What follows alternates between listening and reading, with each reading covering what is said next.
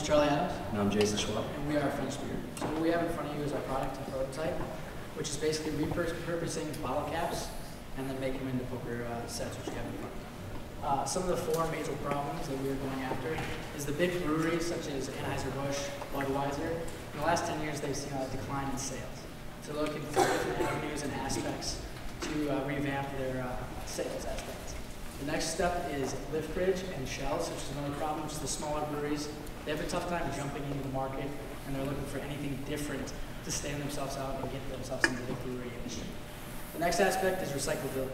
Bottle, or bottle caps um, are no longer recyclable, and they're tough and are a nuisance to recycling industry, as they are hard to sift out when they are recycled, and they cause a lot of machinery problems when they don't get sifted out. The fourth and final problem is the useless merchandise. Not to pick on Budweiser, but here are a couple examples of the Game On Foosball Pub. $400, three prong uh, table, and the only thing different is it can hold beer at the base. And we have the Make Your Mark uh, brander, which is again $70, and all it does is brand your, uh, your burger, and then you cook it, and you got Budweiser. and then the classic selfie fad going on right now. Budweiser obviously capitalized on that with a couple logos on the collar of the neck, and then uh, obviously where they hold the phone. And this is kind of where our product comes in, and we are the solution. We want to create a high, highly customizable and a high quality product that kind of goes after the aspect of the social uh, gathering of poker, which is drinking beer and hopefully using the beer that we are advertising with the poker chips. Uh, the next aspect is nostalgia. Like we saw, um, the smaller breweries and bigger uh, beer companies are now trending away from bottles and going into cans and then taps and also uh, cans, taps, and just other ways that are cheaper. And so the, what the cool thing about our thing is it creates a vintage product with the bottle caps not used anymore. Uh, the next aspect is sustainability. Um, our product, like I said, recyclability for the bottle caps is difficult and annoying. And so having a pop the bottle cap, this is a different idea to obviously repurpose that bottle cap and uh, make a better product for it. And then the next aspect is we want to outsource our uh, cases. We obviously have a case in front of you that we made. We want to outsource our cases to Woodchuck USA. And every case that we make will then be, or every case that they make, they will plant a tree, which is a cool aspect that me and Jay both love. Uh, the next slide here is our target market.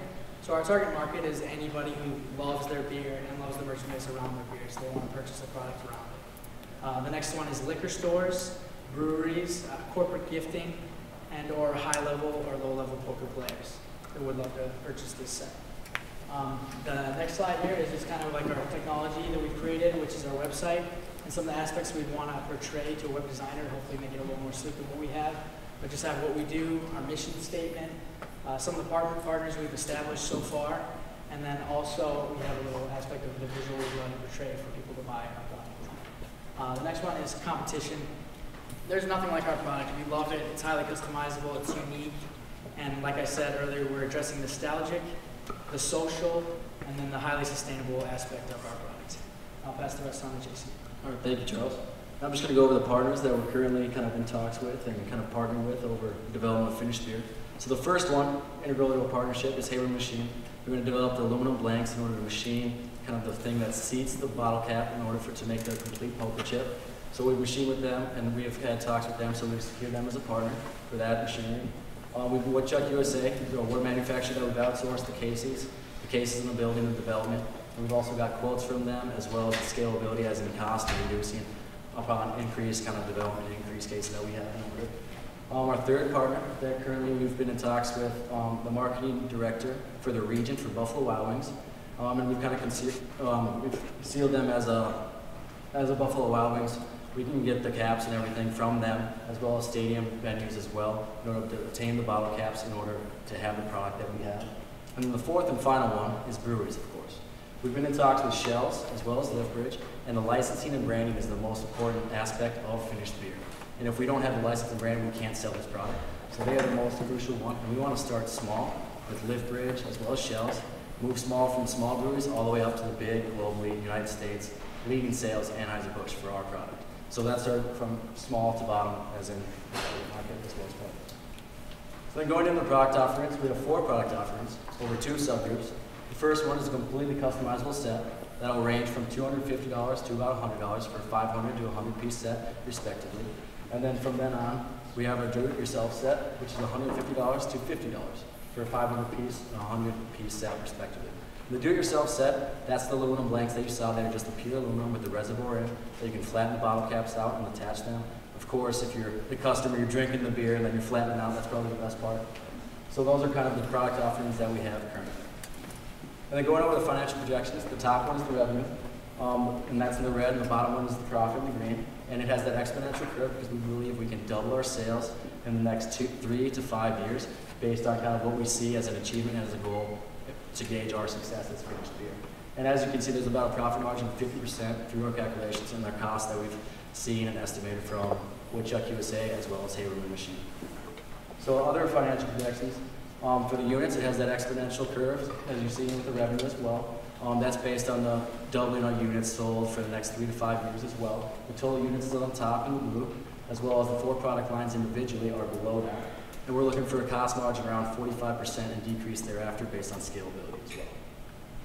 So currently for financing, we're looking for 5,000 for utility design and trade researches. We're looking for 5,000 for kind of increased prototype development across all four product lines, as well as 2,500 for website design and marketability. And then finally, $10,000 will go for inventory creation, as well as establishing branding for investors and customers alike. And just to finish off, you've heard from Charles, you've heard from me, but we represent a high-quality, meaningful merchandising product for the beer industry in order to increase their marketability as well as their brand awareness for the popular and less popular beers. We are not in the poker chip industry. We're not in the poker chip business. We're in the business of providing this product that represents the driven, hardworking nature of the breweries and exhibits sustainability of the future as well as memories of the past. We are finished beer. Thank you.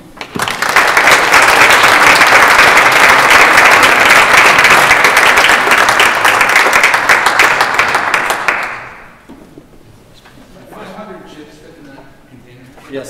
Yes. Yeah, we've, we've tested it to the same size as the regular clay poker chip, and we can fit, I think it's 50 for each row there, easily in each row. So And do people stack, how long is that? there's, well, for these ones, they still stack, but they're not quite as essential as what they would be. Since they will be recessed into that reservoir in aluminum, they will be able to be stacked one, same functionality as a regular poker chip.